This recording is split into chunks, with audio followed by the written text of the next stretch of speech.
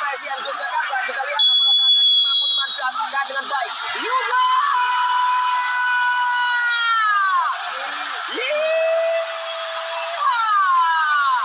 Yuda masuk